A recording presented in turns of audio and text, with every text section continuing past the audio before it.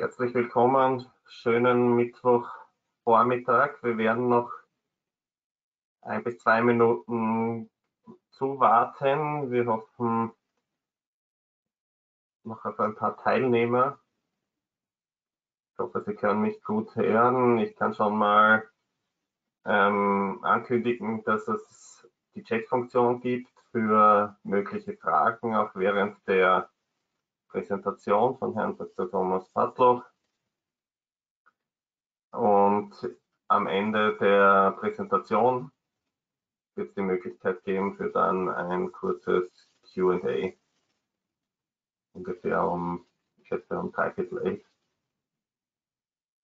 10.45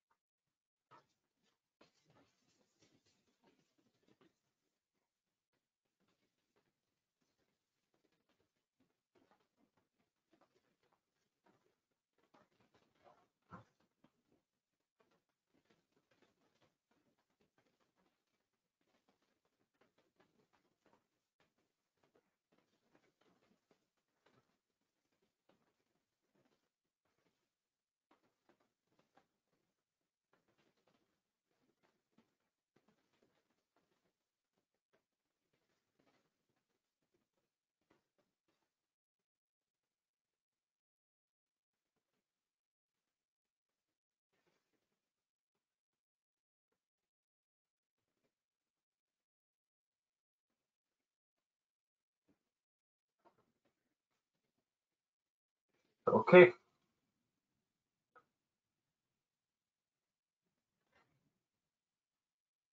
Nochmal herzlich willkommen von meiner Seite. Mein Name ist Pascal Müllner, ähm, Business Development Digitalisierung beim Humantechnologie Cluster der Steiermark. Es freut mich sehr, Sie heute willkommen zu heißen zu unserem Cross-Cluster ähm, mit ähm, den anderen steirischen Clustern, dem Mobilitätscluster ACE Styria, dem Design Cluster Creative Industries Styria, dem Internationalisierungscenter der Steiermark und dem Silicon Alps Cluster. Ähm, ich möchte mich auch schon an dieser Stelle sehr beim China IP SME Helpdesk bedanken für diese Möglichkeit, ähm, unseren Clustermitgliedern und auch ein paar externen Gästen ähm, einen Einblick geben in IP-Rights ähm, in China und, äh, und Technologietransfer nach China. Dazu darf ich jetzt herzlich willkommen heißen unseren Speaker Dr. Thomas Patloch.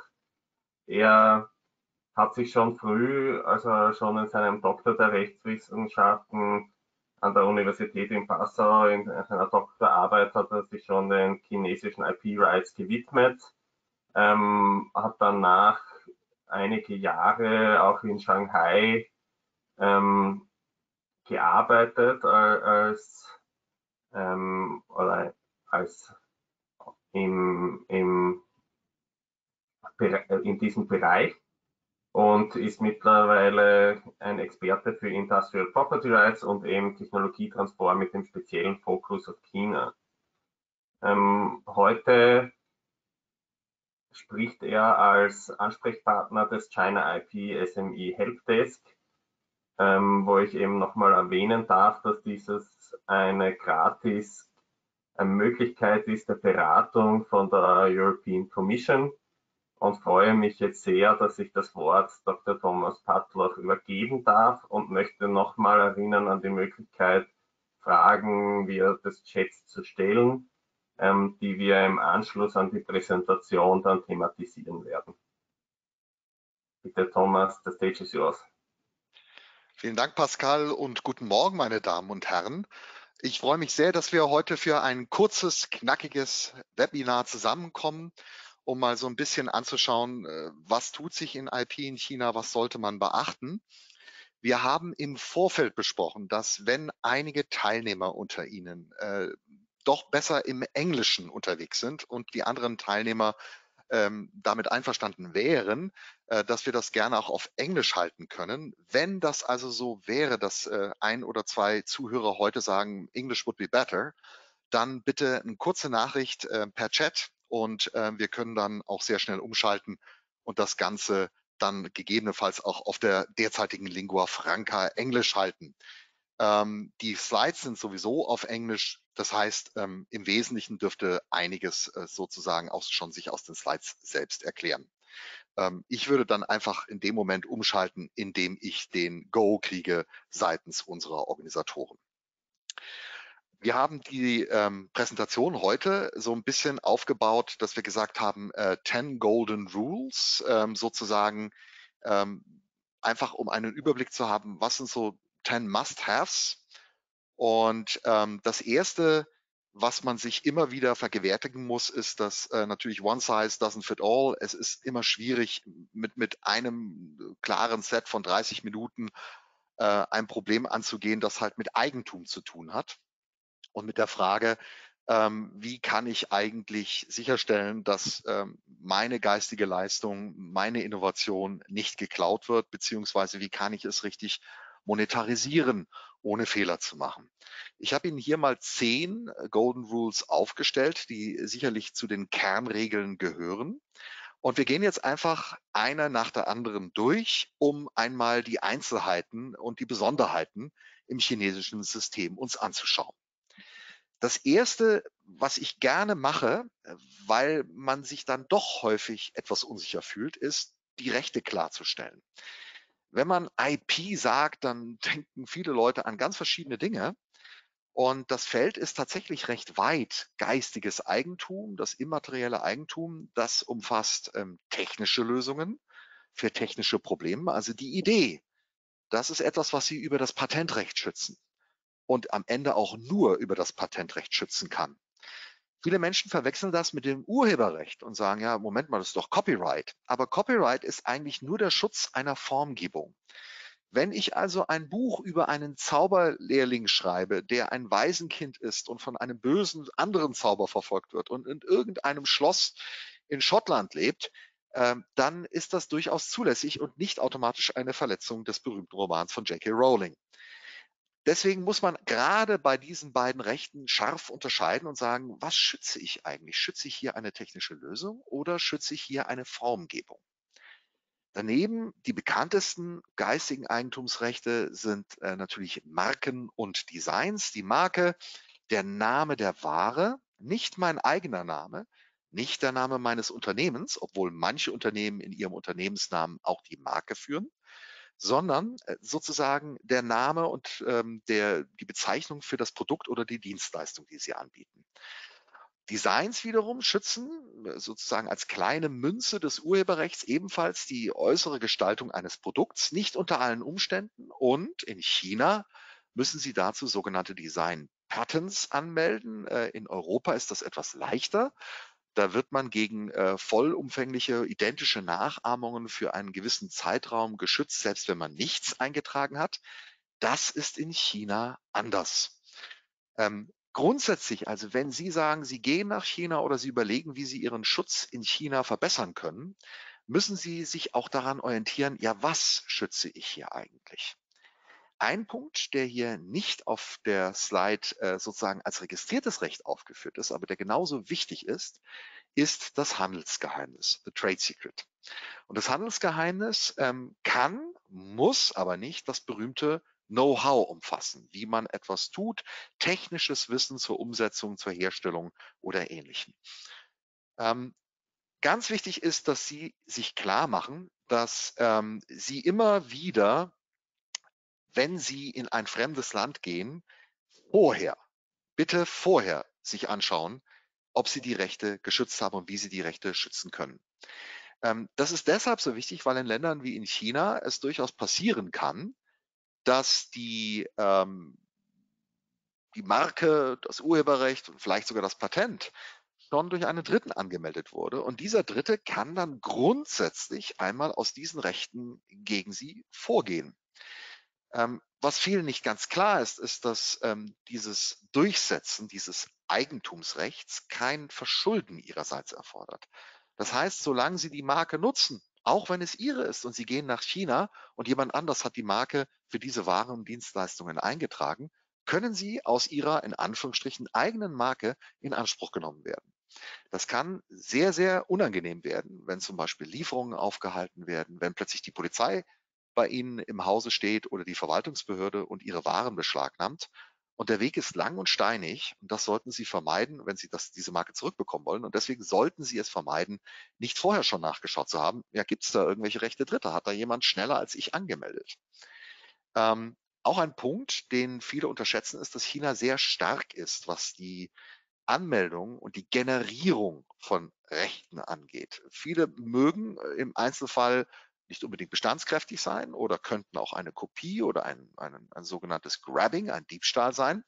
Aber grundsätzlich ist es so, dass das Register blind ist und erst einmal das Recht annimmt und wenn es die Voraussetzungen erfüllt, einträgt und damit ganz schnell auch ein IP-Recht für einen Dritten entstehen kann.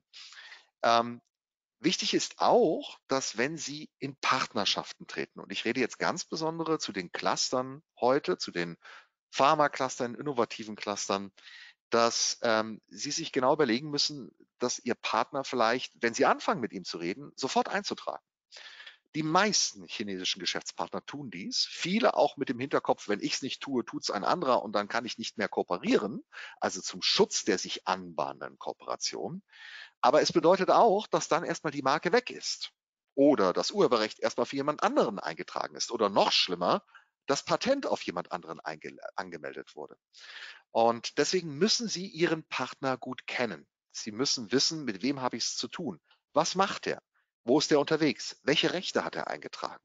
All das können Sie relativ leicht im chinesischen Netz oder wenn Sie Hilfe brauchen, auch über den API SME Helpdesk oder eben über Service Provider in Erfahrung bringen und können damit eine viel bessere Entscheidung treffen, wie Sie sich am besten schützen. Ganz wichtig ist mir auch, dass Sie bitte niemals ähm, auf die China-Stereotypen zurückfallen. China hat sich so schnell entwickelt, dass viele dieser Stereotypen, die Sie immer noch in weiten Teilen, zum Teil sogar der Medienlandschaft finden, einfach nicht mehr stimmen und überholt wurden durch die Wirklichkeit. Man muss also hier aufpassen. Das ist ein Slide, von dem ich mir hoffe, dass Sie es nicht vergessen, wenn Sie alles andere vergessen, was ich in dieser kleinen Vorstellung ähm, vortrage. Denn es zeigt das, was auf sie zukommt. Eine Tsunami, eine riesige Welle, und zwar von Rechten, von eingetragenen Rechten. Ähm, das sind noch ältere Slides, ältere ähm, sozusagen Statistiken, die zeigen Ihnen den Anstieg an Anmeldungen von Patenten und von Marken. Und ähm, wenn Sie diese Slides später bekommen und durchgehen, dann werden Sie unten sehen, dass die äh, Anmeldezahlen durch die Ausländer relativ konstant niedrig sind die aber durch chinesische Unternehmen stark ansteigen. China ist also ein sogenanntes IP-Rich Country, ein Land mit vielen geistigen Eigentumsrechten.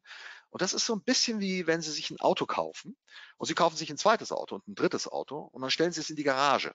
Irgendwann werden Sie mit dem fahren und irgendwann geschehen dadurch auch Unfälle. Sie müssen also auch realisieren, dass Sie in einen sehr wettbewerbsfähigen Raum treten, und dass die chinesische Seite nicht so wie vor 20 Jahren sehr viel Aufmerksamkeit darauf verwendet, welche Rechte gibt es von wem, wer hat sie gehalten, wer hat sie eingetragen. Ohne eingetragene Rechte wird es in aller Regel sehr schwer. Und Sie müssen daran denken, dass die Eintragung nur in Österreich, Deutschland, Europa nicht ausreicht. Es ist einfach so, dass im geistigen Eigentumsrecht Sie ein Prinzip haben, das Prinzip der Territorialität, das besagt, dass Sie nur in dem Land, wo Sie auch etwas eingetragen haben, beziehungsweise wenn es um Urheberrechte geht, die Sie grundsätzlich nicht eintragen müssen, in dem Land, wo Sie Schutz begehren, nach den Voraussetzungen des jeweiligen Landes Schutz genießen. Vereinfacht gesagt, Sie müssen für jedes Land separat Rechte sichern.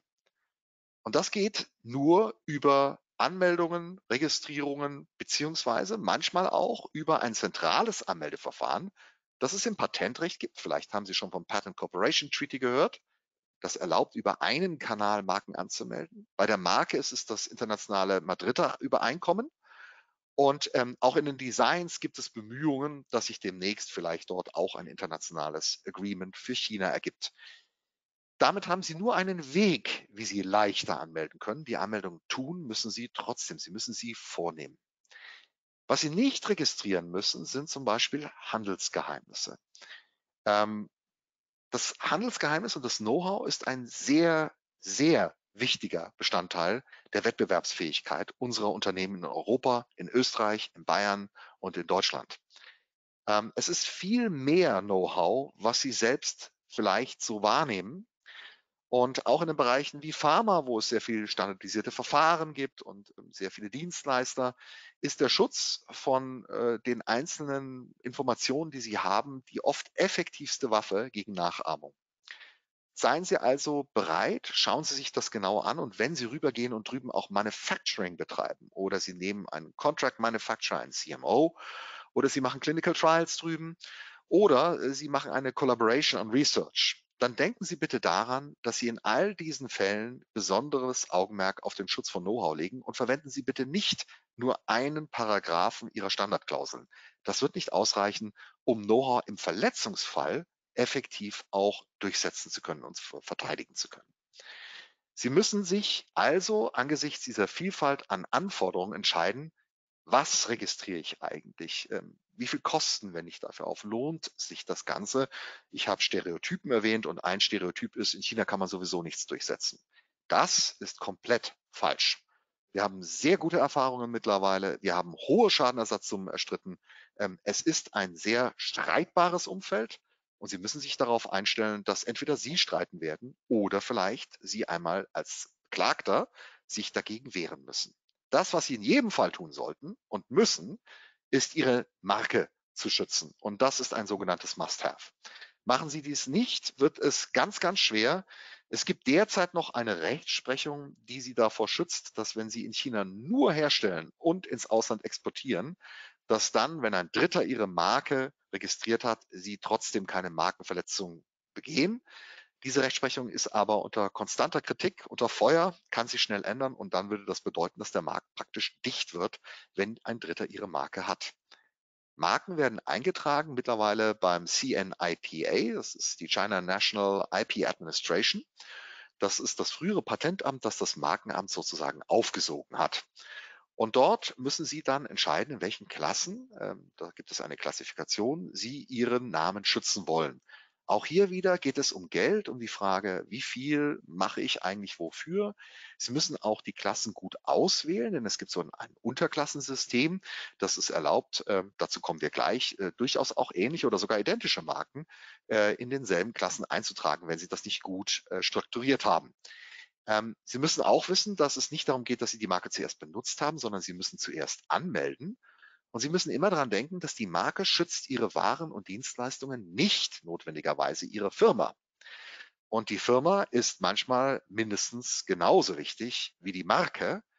Und es gibt zwar internationale Übereinkommen, die diese Firmenrechte theoretisch auch in China schützen, aber de facto müssen sie das über eine Marke tun, um effektiven Leverage, um einen Hebel zu haben. Sie müssen sich auch überlegen, wie das im Internet ist, wenn Sie auf Webseiten gehen, wenn äh, Website-Namen oder Bezeichnungen von Produkten dabei sind, wie Sie das strukturieren. Das ist schon etwas tiefergehend, aber das ist Teil dessen, was Sie sich überlegen, wenn Sie äh, in den Markt hineingehen oder Kooperationen ausbauen wollen.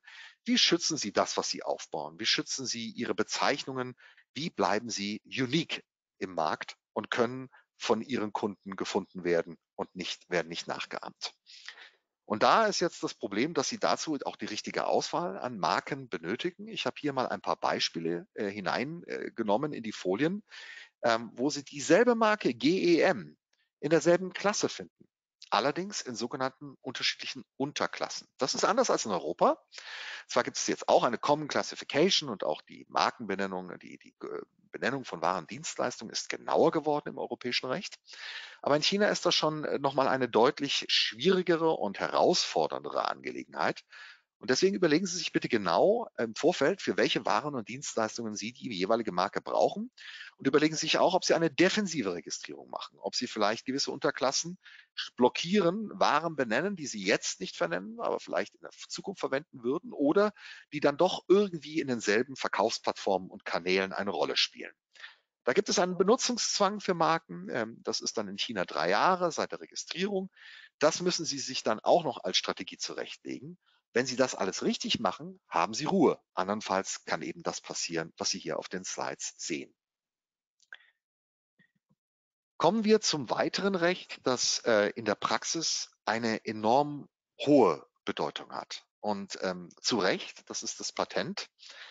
Das Patent bezeichne ich häufig so ein bisschen als die Atombombe im geistigen Eigentum.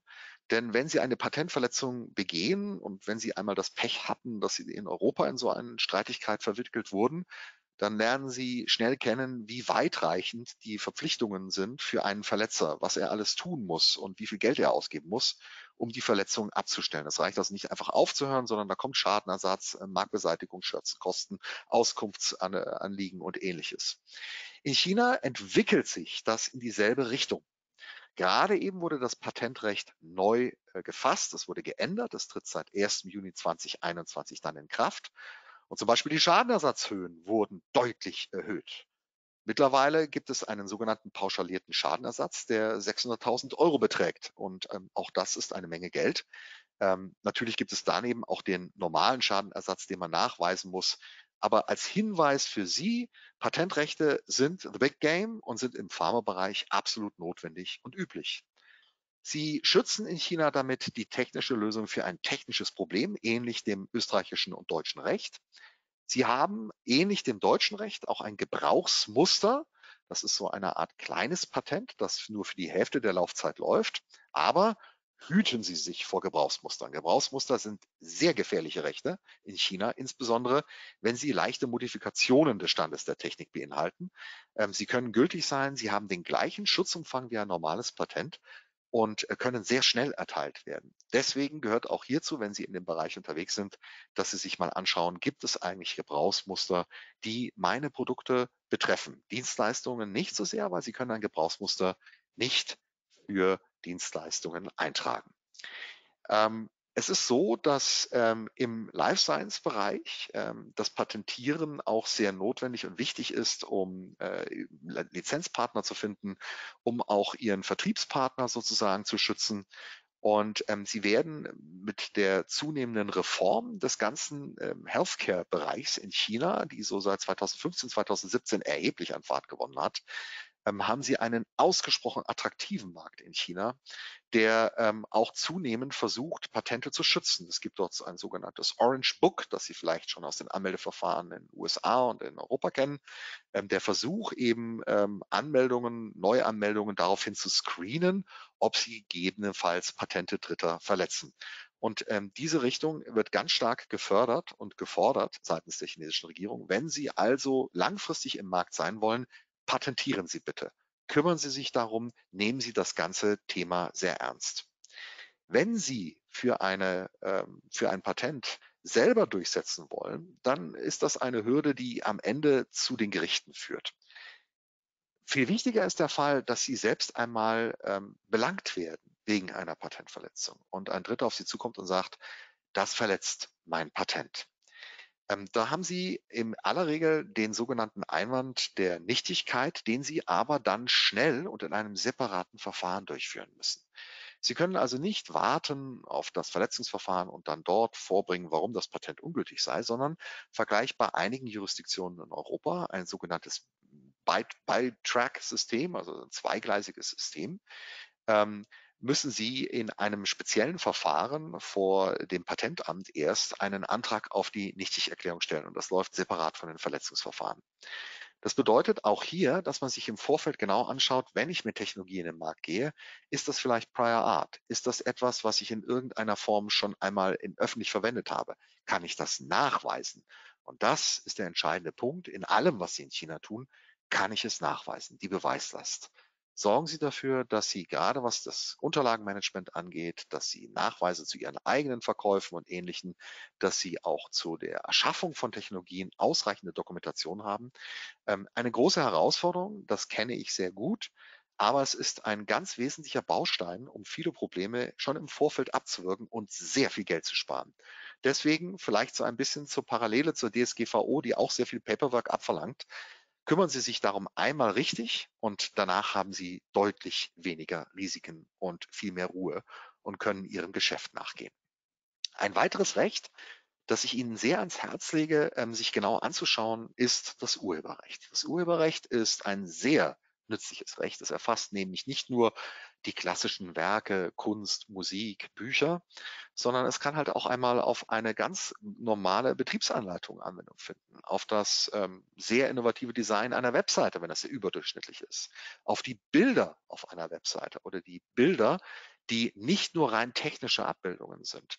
Und es kann natürlich auch Übersetzungen und ähnliches erfassen. Ähm, in China wird sehr viel gestritten im Bereich des geistigen Eigentums. Wir haben viel mehr Verletzungsverfahren als in Europa, Deutschland, Österreich. Äh, und zwar sind das deutlich äh, über der sechsstelligen äh, Zahl von 150, 160.000 im Jahr. Und diese Zahlen zeigen, dass ähm, darunter sehr viele Fälle für Urheberrechtsverletzung sind, auch für Software. Denken Sie also daran, dass Sie in diesen Bereichen die ähm, eigene Schutzfähigkeit prüfen, dass Sie sich anschauen, was können Sie unter Umständen noch ähm, mit einem Copyright-Vermerk versehen. Denken Sie daran, dass Sie so simple Dinge tun wie auf Ihre Betriebsanleitung, wenn Sie das als elektronisches File machen, auch bei den Eigenschaften des elektronischen Files einfach Ihren Namen reinzuschreiben oder Ihr Unternehmen. Da gibt es nämlich Beweiserleichterungsregeln, die dann besagen, dass wenn jemand Drittes das ver verwendet, Sie sich darauf leichter verlassen können und sagen können, das bin ich, das ist mein Recht und es wurde verletzt. Und damit haben Sie viel schneller Ansprüche und können viel mehr äh, sozusagen auch an Exklusivität bewahren. Ähm, das Urheberrecht ist auch für Software einschlägig. Äh, es ist, wird ein Versuch unternommen, das zunehmend zusammenzuführen. Es gibt sehr viele Verletzungsverfahren zum Urheberrecht äh, im Softwarebereich. Und Software können Sie ebenfalls wie normale urheberrechtliche Werke auch registrieren lassen. Registrierung ist nicht teuer, die kostet so 850 Euro, gilt dann äh, so lange, wie das Urheberrecht besteht und gibt Ihnen einen Anscheinsbeweis, dass Sie der Inhaber des Urheberrechts sind. Wenn Sie in der Vergangenheit in Europa schon einmal damit zu tun hatten, dann wissen Sie, dass die Frage der Inhaberschaft, des Nachweises, dass das Recht Ihnen gehört, häufig eine der schwierigsten ist. Und deswegen lege ich auch ans Herz, zu prüfen, ob Sie nicht ein Urheberrecht eintragen lassen ähm, und dann eine, mit einer registrierten Urkunde auch gegenüber Dritten auftreten können. Übrigens auch gegenüber Markenanmeldungen, die Ihre Werke häufig inkludieren. Sehr, sehr häufig wird der Versuch unternommen, zum Beispiel ein aussagekräftiges Design zu übernehmen mit einem anderen chinesischen Zeichensatz oder einem anderen äh, lateinischen Wort, um dann mit dieser Marke ebenfalls Verwirrung zu stiften. Es ist ein sehr, sehr nützliches Recht, das man sich gut anschauen soll. Ich habe auch vorhin schon zu den Urheberrechten gesprochen, die Urheber, äh, zu den äh, Geschäftsgeheimnissen gesprochen, die ähm, sehr stark äh, verbunden sind mit dem jeweiligen Geschäftsmodell. Ähm, Sie haben immer, wenn Sie technische Lösungen haben, den Zwiespalt zu fragen, äh, mache ich daraus ein Patent und das bedeutet, dass das Patent veröffentlicht wird, dass es Dritten zugänglich gemacht wird, dass es eine Art Publikation dessen ist, was sie haben und was sie können und auch eine Art Umreißen von dem, für was sie Schutz bekommen. Im Know-how geht das etwas anders. Know-how wird insbesondere geschützt durch Verträge und durch eigene Schutzmaßnahmen, durch den faktischen, äh, das faktische Wegsperren und faktische Versperren des Zugangs und damit, dass es einen praktischen Wert hat und ganz konkret für Sie, für Ihr Unternehmen ähm, im wirtschaftlichen Wirken einen positiven Beitrag leistet. Know-how ist auch etwas, was tatsächlich für viele, viele chinesische Unternehmen immer noch einen immensen Wert hat.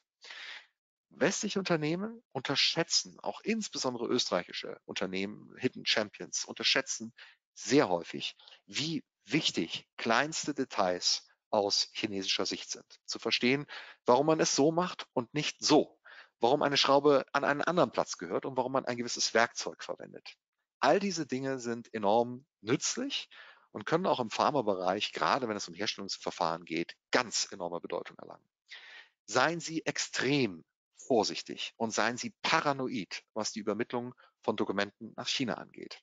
Sie müssen wissen, dass in der Kultur, in der chinesischen Kultur, das Teilen, das Weitergeben Teil eines Netzwerkpflegens ist, dass das einfach ein ganz wichtiger Bestandteil auch der Befreundung und des Aufrechterhaltens von Freundschaft ist, dass es auch dazu dient, ähm, sozusagen neue Opportunitäten über die Netzwerke zu identifizieren und dass deswegen ähm, das Mitteilungsbedürfnis und die Neigung zur Mitteilung im chinesischen Raum viel, viel größer ist als das, was wir kennen. Äh, das hat auch ein bisschen mit der Highsense-Gesellschaft zu tun. Es hat was mit, mit kaufmännischem äh, Neugier und mit natürlich auch der Bereitschaft zu Risiko zu tun. und führt dazu, dass Sie äh, bei vielen Dingen, angefangen von einer E-Mail-Übermittlung eines Dokuments, mal darüber nachdenken sollten, ob Sie das nicht doch Passwort verschlüsseln, ähm, ob Sie es bei nur an Personen übermitteln, der, bei denen Sie nachweisen können, dass diese Personen Sie erhalten haben, ob Sie eine Geheimhaltungsvereinbarung haben, die eben auch die richtigen Klauseln beinhaltet. Wenn da drin steht, Sie gehen vor die österreichischen Gerichte, können Sie das Papier schön zusammenfalten und in die Ecke legen, aber Sie können es nie durchsetzen, wenn es um eine Durchsetzung vor Ort in China geht. Das sind viele kleine Kniffe, viele Dinge, die einfach zum Know-how auch bei der Vorbereitung gehören, die aber immensen Wert entfalten, wenn sie dann im Markt unterwegs sind oder auch wenn sie vor China vor Ort ähm, Know-how generieren. Überlegen Sie auch, dass Sie in diesen Bereichen, wenn Sie Lizenzvereinbarungen machen, unter spezielle Regelungen fallen, die ähm, in weitesten eine Art Staatskontrolle darstellen für Technologieimport und Export. Also wenn Sie China nutzen als Kollaborationsbasis für neue Daten, für neue Ergebnisse, für neue Forschungen, dann finden mittlerweile eine Vielzahl an Regularienanwendungen, die Sie auch auf der administrativen Ebene beachten müssen, selbst wenn Sie österreichisches Recht oder deutsches Recht oder anderes Recht gewählt haben. Das führt dazu, dass Sie auch hier die Verträge ein bisschen anders gestalten müssen. Es gibt auch inhaltliche Anforderungen nach diesen Regelungen. Und Sie müssen wissen, dass manche Daten automatisch an chinesische Datenbanken weitergegeben werden. Kümmern Sie sich darum, schauen Sie sich das an und sorgen Sie dafür, dass Sie Kontrolle über das haben, was Sie rausgeben, soweit es eben irgend geht. Und seien Sie sich bewusst, dass wenn Sie Ihre Blackbox nach China geben, dass das anders als in anderen Ländern häufig bedeutet, irgendwann ist es öffentlich. Vielleicht ändert sich das in den nächsten Jahren, aber nach wie vor ist es ein schwieriges Umfeld für den Know-how-Schutz. Und da kommen wir auch zur Frage der Realität. Ähm, es gibt immer wieder den Versuch zu sagen, ja, China ist ein besonderer Markt, aber es geht doch nur um Herstellung und Verkauf und ähm, so schwer kann das gar nicht sein. Und wenn einer kommt, dann lasse ich ihn einfach machen und das kriegen wir schon irgendwie hin.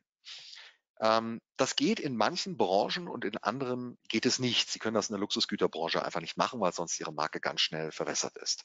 Wie ist das jetzt, wenn Sie in den Bereich Life Science gehen und, und sich das dort anschauen? Ähm, dort gibt es sicherlich äh, eine Menge an ähm, Kriterien, die neben dem geistigen Eigentum wichtig sind, um Erfolg zu haben. Aber es gibt auch den Fall, dass sie äh, nicht in der Lage sind, ihre Produkte an den Mann zu bringen, insbesondere wenn sie nur ein oder zwei Produkte haben, wenn sie das geistige Eigentum nicht gesichert haben. Wir hatten einen guten Fall, ein sehr interessantes Gerät zur Behandlung einer Lungenkrankheit, ein Medical Device. Und ähm, der Kollaboration lief sehr gut. Man hatte zwei, drei sehr schöne, ansprechende Designs gemacht und äh, dann kam raus, dass der Geschäftsführer vor Ort parallel eine Firma hochgezogen hatte und die ganzen Designs angemeldet hatte in China und dass nun äh, die Mandantin nicht mehr in der Lage war, ähm, das sehr ansprechende und natürlich auch erfolgreiche Design im Markt dann in irgendeiner Form zu verwenden oder im Gegenteil sogar noch das Risiko hatte, selbst als Verletzerin dazustehen. Natürlich gab es da ähm, bösgläubiges Verhalten, Bruch von Arbeitsverträgen und ähnlichem, aber das ist ein langer Weg dahin. Es wäre viel besser gewesen, hätte man dieses Design gleich selbst angemeldet und hätte viele, viele, viele tausend Euro gespart. Sie müssen sich also genau überlegen, habe ich für die Dinge, die ich tun will, ähm, tatsächlich äh, den ausreichenden Schutz und habe ich für diesen Schutz auch alles getan, was ich tun kann. Häufig ist das zwar ein gewisser Aufwand, aber deutlich weniger, als man am Anfang befürchtet. Ähm, Sie müssen auch wissen, dass wenn es um die Durchsetzung geht, wenn Sie eine Marke Ihnen geklaut wurde oder eine, ähm, ein, ein, Unternehmen auf einer Webseite auftritt und sich die ganze Zeit als Ihr Vertreter geriert und so weiter, ähm, zwar möglich ist, aber sie ist zeitaufwendig und sie kann auch Kosten verursachen, wenn die Gegenseite sich wehrt. Und es ist so, dass die Beweishürden hoch sind. Wenn Sie selber keine schriftlichen Nachweise haben, wenn Sie Ihre eigene Verwendung der Marke, Ihre Produkte und so weiter, das Homework, das ich vorhin erwähnt habe, wenn Sie das nicht haben, dann wird es sehr, sehr schwer. Und ähm, Sie können sagen, es ist doch offensichtlich, ähm, das ist aber für chinesische Behörden und Gerichte häufig eben nicht offensichtlich. Auch hier muss man also realistisch herangehen und sich ein, selber ein Bild davon machen, was kann ich eigentlich durchsetzen und was wird wahrscheinlich nicht gehen. Und äh, die sicherste, der sicherste Sicherungsmechanismus dagegen ist die Wahl des richtigen Partners, wenn Sie es nicht selbst machen. Sie müssen sich Ihre Partner gut anschauen. Chinesen sind sehr schnell, äh, lieben es auch äh, sozusagen manchmal viel Wind zu machen und viel Druck zu entfalten. Und sie müssen sich bei allem Druck und bei allem schnell, schnell, schnell immer wieder darauf besinnen, wie schnell sie unterwegs sein können und äh, was sie können und was sie wollen. Und ob sie ähm, wirklich einfach nur, um einen Abschluss zu haben, äh, ein großes Risiko eingehen oder vielleicht das ein oder andere dann etwas langsamer, aber sicher machen und dann auch ans Ziel kommen. Ähm, es ist so, dass am Ende Sie einen Mix brauchen von guten Verträgen, selbst angemeldeten Rechten und ab und an werden Sie auch durchsetzen müssen. Und äh, diese Durchsetzung wird Sie in Zukunft in einem Markt wie China, wie in den USA oder auch wie in Europa gegebenenfalls begleiten. Ich habe Ihnen hier ein paar Beispiele mal aufgeführt aus dem Markenrecht, weil das vielleicht am einfachsten und auch plakativsten ist, um Ihnen äh, zu zeigen, wie ähm, vielfältig im Markenrecht die Nachahmungsversuche sind. Ähm, und äh, das oberste Beispiel ist vielleicht noch das harmloseste, weil die Marke kaum verwendbar ist in der Praxis. Aber Sie sehen Puma, Bosch, äh, Nike, äh, New Balance, ähm, all die werden hier sozusagen reingepackt und es wird versucht, die für auch gewisse Waren im Bekleidungsbereich zu registrieren. Und ähm, das kann am Ende dann doch irgendwie funktionieren, weil dann wird die Marke registriert und zwei Sachen werden weggelassen. Dann heißt es Puma Boss plötzlich. Und es wird trotzdem behauptet, dass es eine registrierte Marke sei. Darunter finden Sie ähm, weitere Beispiele von sehr bekannten Unternehmen. Und ähm, das Problem für die Unternehmen dort ist, dass äh, vielleicht ein Fundy äh, nicht will, dass die Marke auch auf Teppichen verwendet wird oder für ähm, Kaffeemaschinen oder ähnliches. Ähm, diese Verwässerungsgefahr ist durchaus ein großes Problem, gerade wenn Sie ein scharfes Markenprofil pflegen. Oder auch bei Bayersdorf, ähm, das äh, ein Unternehmen, das eher im Bereich Kosmetik, Healthcare und ähnlichem unterwegs ist, plötzlich dann äh, die Marke auf T-Shirts findet. Auch hier ähm, ist immer wieder die Überlegung, können Sie sich überhaupt dagegen wehren? Haben Sie eine Marke in diesen Klassen? Häufig wird die Antwort sein, nein. Und ähm, dann haben Sie am Ende damit zu leben, dass ähm, so eine Marke sich durch den Markt frisst, wenn sie sich nicht vorher schon ausreichend abgesichert haben. Sie müssen immer überlegen, wenn es zu Verletzungen kommt, ähm, muss ich überhaupt was tun? Lohnt es sich? Ähm, es ist nun so, dass Sie niemals erwarten können in China und das ist einfach sehr wahr und, und ein Satz, den Sie sich bitte wirklich auch zu Herzen nehmen there is no such thing as a free lunch. Also Sie können nicht da reingehen äh, in den Markt und denken, wird schon nicht passieren und ich brauche nichts und ich werde viel Geld verdienen. Äh, Im Gegenteil, also everything is possible, nothing is easy in China. Ähm, es ist sehr viel Arbeit notwendig. Es ist immer ein sehr aufwendiger Markt. Und ähm, Sie müssen wissen, dass am Ende ähm, immer ein Stück Kampf dazugehört. Und äh, sie haben aber auch Optionen, die es leichter machen zum Teil als bei uns. Ähm, sie haben äh, sozusagen die Verwaltungsbehörden, die in einzelnen Fällen helfen können. Auf Messen kann das mal sehr nützlich werden oder beim Zoll. Der Zoll kann selber auch, äh, wenn Sie Ihre Marken, Ihre Urheberrechte und andere Rechte dort registriert haben und vielleicht sogar potenzielle ähm, Verletzer in den Datenbanken hinterlegen, äh, die Waren aufgreifen und hat eine hohe Rate auch an Erfolg. Sie können auch natürlich zu Gericht gehen. Das wird zunehmend durch die chinesische Regierung gefördert. Und zuletzt können Sie in schwierigen und extremen Fällen auch versuchen, über die strafrechtliche Schiene zu gehen. Das ist der teuerste und schwierigste Weg, aber der, der die allerhöchste Abschreckung erzeugt und häufig enorme Auswirkungen auch im Markt zeigt. Ähm, bleiben Sie immer realistisch. Seien Sie äh, mit dem gesunden Menschenverstand, mit dem Sie hier in Europa unterwegs sind, auch in China unterwegs. Schauen Sie sich das an und sagen Sie sich, ich muss jetzt nicht gegen ganz China kämpfen, sondern ich muss die Schlacht schlagen, die für mich wichtig ist. Sie brauchen Geduld. Sie müssen manchmal Wege gehen, die Sie so nicht kennen. Nicht diesen klassischen Weg, ich stelle meinen Antrag bei Gericht und dann wird alles passieren. Manchmal führt der Weg auch über eine Steuerbehörde oder er führt über ein Umweltvergehen oder er führt über Investigationen, die Verbindungen zu anderen Unternehmen zeigen, die äh, einen schädlichen Einfluss haben können. Ähm, es gibt viele Wege, wie man versuchen kann, mit Nachahmung und mit Counterfeiting umzugehen. Ähm, ein ganz großes Problem ist, wenn Sie die Vogelstrauß-Politik fahren. Äh, ich kenne keinen einzigen Fall, wo das am Ende irgendwie gut ausgegangen ist, ähm, weil es natürlich darauf vertraut, dass die allgemeinen Kräfte des Marktes es schon irgendwie richten werden. In ähm, aller Regel, wenn man nichts tut, ist das eine Aufforderung an einen Verletzer, mach mehr. Und äh, in vielen Fällen tun die das dann auch. Und wenn man dann mehrere Jahre zugewartet hat, kommt das Gespenst der Verwirkung im rechtlichen Bereich, dass man sozusagen sowieso sich äh, ganz bewusst seiner Rechte begeben hat. Und ähm, deswegen auch hier bitte aufpassen, dass man nicht denkt, ähm, das kann auch nicht wahr sein, ich will mich nicht drum kümmern. Ähm, es ist ein Spiel, wo Sie Einsätze machen müssen und wenn Sie die Einsätze gemacht haben, auch mit denen spielen müssen. Es ist so, dass bei allem ähm, sozusagen Anwaltsgerede von dem, was Sie machen müssen und was noch auf Ihrem Tisch landet, dass äh, man doch am Ende am besten fährt, wenn man sich eine kleine Strategie zurechtlegt und sagt, okay, was ist mein Produkt, was ist mein Ziel, wer sind meine Partner, wo möchte ich hin? Und sich dann anhand dieses Businessplans so mal ein bisschen zurechtlegt, äh, was man schon hat, was man vielleicht noch braucht, sich dann die Kosten anschaut, die im Bereich Markenurheberrecht ähm, deutlich niedriger sind als zum Beispiel im Patentrecht und sich dann auch noch mal so ein bisschen umhört, ähm, insbesondere auch beim IPA SME Helpdesk gibt es viele sehr gute Broschüren, kostenlos zum Download in Deutsch und in anderen Sprachen und die ähm, eine sehr, sehr große Fülle an ausgesprochen nützlichen Informationen beinhalten. Nun ist es als Unternehmer häufig auch schwierig zu sagen, ja, ich verstehe das nicht alles, das ist wahnsinnig viel juristisches Kauderwelsch. Ähm, orientieren Sie sich immer wieder daran, was Sie tun wollen, an der Macht des Faktischen, an dem, was Sie umsetzen wollen und stellen Sie sich in diesem Zusammenhang ganz simpel die Frage, was kann denn schiefgehen und was, wenn es gut geht, wie möchte ich, dass es gut geht? Und dann hat man eigentlich eine ganz gute Richtschnur und sogenannte Roadmap, um sich durch den Dschungel zu kämpfen.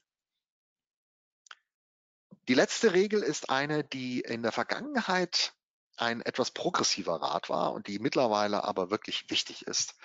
Ähm, Sie können Ihr IP, das Sie in China generieren, wirklich nutzen. Ähm, es gibt zunehmend Lizenzvereinbarungen, insbesondere im Life Science Bereich, über hohe Beträge, ähm, auch über laufende Royalties. es gibt viele, viele Modelle, mit denen Sie in den Markt treten können oder bei dem Sie auch eine Restrukturierung Ihres Modells im Markt vornehmen können. Und äh, das Lizenzrecht äh, in China ist derzeit noch recht weit. Äh, das kann ein Vorteil sein für Ihr Drafting von einem Lizenzvertrag oder einem Kooperationsvertrag. Und äh, Sie müssen nur am Ende beachten, wo die Grenzen sind, die Leitplanken. Äh, es gibt ein paar Leitplanken, wenn Sie im Bereich Healthcare unterwegs wären und Sie wollen Apps verwenden und ähnliches. Es gibt ein paar Leitplanken, wenn Sie im Bereich Genetik unterwegs sind. Aber ähm, es gibt auch viele Felder, die Sie bespielen können. Und dort lohnt es sich, das zu tun. Sie müssen in allen Fällen diese Administrative Regulation for Import und Export beachten. Sie müssen die Datenschutzregularien beachten, die zunehmend wichtig werden.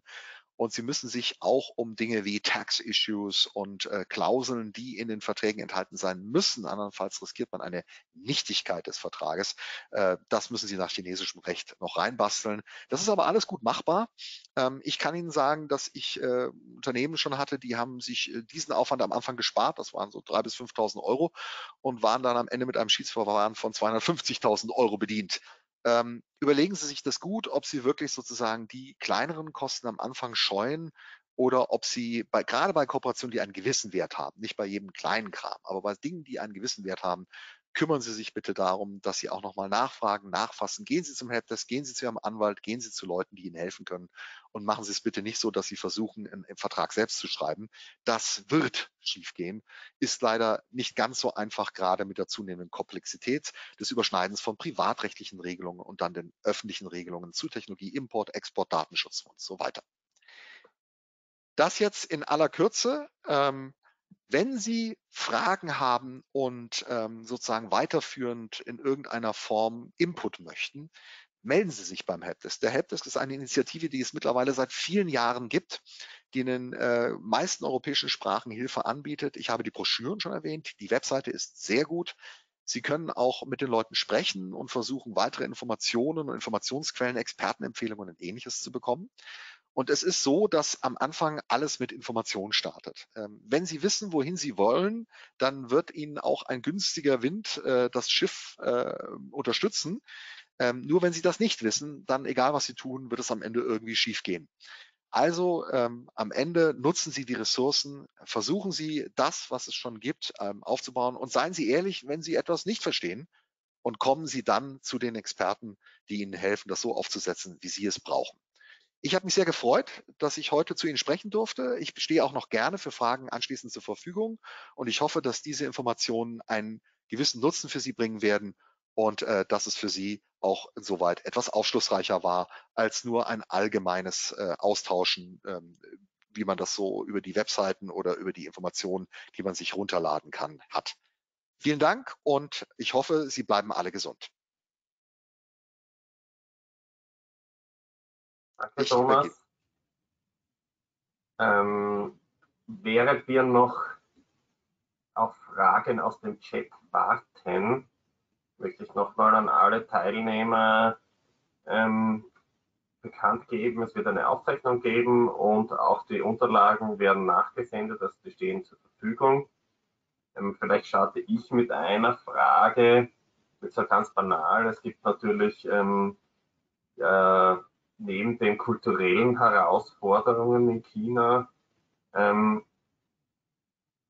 dann auch zu bedenken, du hast ja da jetzt einige Erfahrungen, Thomas. Was ist eigentlich der häufigste Fehler? Kann man das so verallgemeinern, was der häufigste Fehler den SMIs machen? Ich denke, der allerhäufigste Fehler ist, dass sie einfach in den Markt stolpern, ohne sich ähm, zu informieren, was sie schützen müssen. Vor allem, was sie schützen müssen. Ähm, äh, man, man, es ist so ein bisschen so, wie wenn man an den Strand fährt ohne Badetuch und, ähm, und einfach reinspringt und sagt, so, ja, ähm, also das sollte man einfach vermeiden und das liegt daran, dass natürlich Ressourcen und Zeit knapp sind und auch mhm. Geld äh, immer eine Rolle spielt. Ähm, aber wie gesagt, die Erfahrung lehrt, ähm, jeden Tag, den man darauf vorher verwendet, äh, heißt weniger Geld ausgeben und weniger Zeit aufwenden hinten raus. Also wir geht man zu oft vielleicht dann von europäischen Gegebenheiten aus und, und nimmt die eins zu eins, nimmt die für bare Münze dort auch in China und, und passt sich nicht an den Markt an. Genau.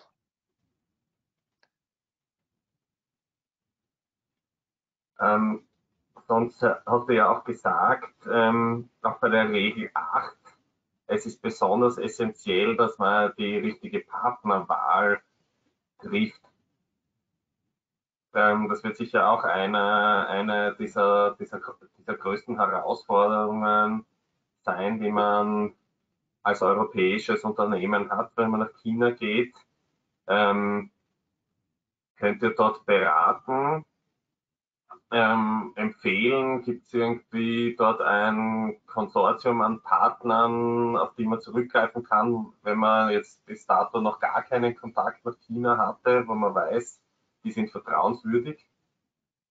Also ähm, das ist das ganz, das ist die Gretchenfrage. Und ja. ähm, viele Unternehmen, die eben äh, nach China kommen, stellen auch fest, ich habe gedacht, die sprechen alle Englisch. Und äh, also es holpert natürlich sehr, ja. Und äh, am Ende muss man mit Chinesisch operieren. Es geht gar nicht anders.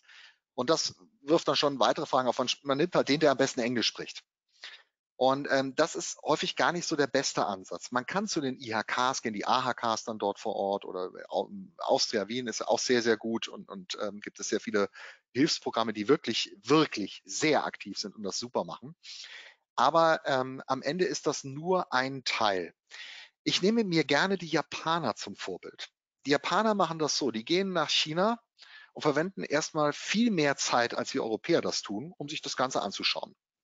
Die schauen sich das alles an, A, B, C, D, stellen unglaublich viele Fragen, immer und immer und immer wieder. Und dann laufen sie genau durch die richtige Tür mit dem richtigen Partner. Ähm, das ist einfach so, dass die dieses äh, schnelle, äh, das Aufspringen und Abspringen kennen äh, als Nachbarn auch von China und dann sehr ähm, geduldig erst einmal den Markt eruieren. Und ich glaube, das ist, man hat ja häufig nicht die Zeit und Ressourcen, man will ein, zweimal rüberfliegen und da muss das laufen. Und das ist das Risiko, dass man sich einkauft, wenn man schnell handelt. Ähm, auf Messen selber sich mal anzuschauen, wer bietet denn da was an? Und wie ist der Messestand gemacht? Wie sind die Broschüren gemacht? Haben die eigene Patente? Versuchen die selber was zu machen? Das sind sehr gute Indikatoren, wie man sich bessere Partner sucht, als wenn man auf irgendeine Plattform geht, eine Matching-Plattform. Es gibt viele, viele, viele Matching-Plattformen, auch von Anwaltskanzleien und allem Möglichen. Ähm, das ist Hit and Miss, also mal ja, mal nein. Am Ende geht es um die Background Research, dass man sich anschaut, wer ist denn da der Inhaber, wie lange gibt es die schon, welches Registered Capital haben die, wer sind andere Gesellschafter, in welchen Branchen waren die vorher unterwegs, ähm, haben die in, in, ihren Zusammenarbeiten schon äh, sozusagen IP generiert, ähm, sind die international erfahren, äh, kennen die auch ein bisschen Österreich oder Deutschland oder so und das sind die Erfolgsfaktoren. Die spielen eine viel, viel größere Rolle und deswegen immer meine Bitte, versuchen Sie genügend Zeit mitzubringen. Zeit ist ein Schlüsselfaktor für den Erfolg. Und schauen Sie sich viel an. Glauben Sie erstmal gar nichts, sondern schauen Sie sich alles an, dann läuft es häufig besser. Danke. Danke für die ausführliche Beantwortung. Wir haben jetzt auch Fragen von unseren Teilnehmern. Die erste wäre, ist es auch notwendig, sein Produkt zu schützen, wenn man über einen EPC zum Beispiel im Mittleren Osten verkauft? Ja, also ähm, es kommt ja immer darauf an, ob man, äh, also wie sehr man getroffen wird, wenn das Produkt dann nachgeahmt wird oder ähnliches.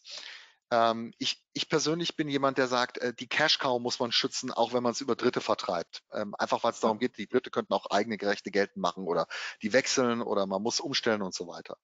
Ähm, ich würde es immer davon abhängig machen, welchen Wert äh, marktmäßig, monetärmäßig oder strategisch gesehen hat das Produkt. Und wenn da ein gewisser Wert anhaftet, schützen. Ja, also immer aufs Nummer sicher gehen und lieber zu viel tun als zu wenig oder einen Bereich schützen nur. Ja. Ja, äh, ein Beispiel. Die Marke ist ja ein sogenanntes ewiges Recht. Das heißt, ich kann es immer weiter verlängern, immer weiter verlängern. Mhm. Und nach fünf Jahren kann ich eine Marke, die ein Dritter angetragen hat, nicht mehr angreifen, nur noch unter sehr engen Voraussetzungen.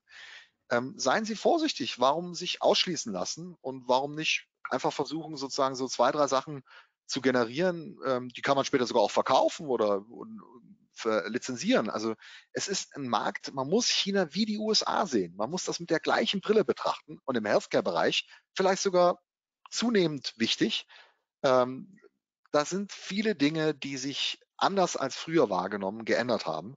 Und äh, wenn man das nutzen will, muss man das Spiel auch mit den richtigen Chips mitspielen. Also man muss mit den richtigen Spielbankchips auch an den Tisch kommen.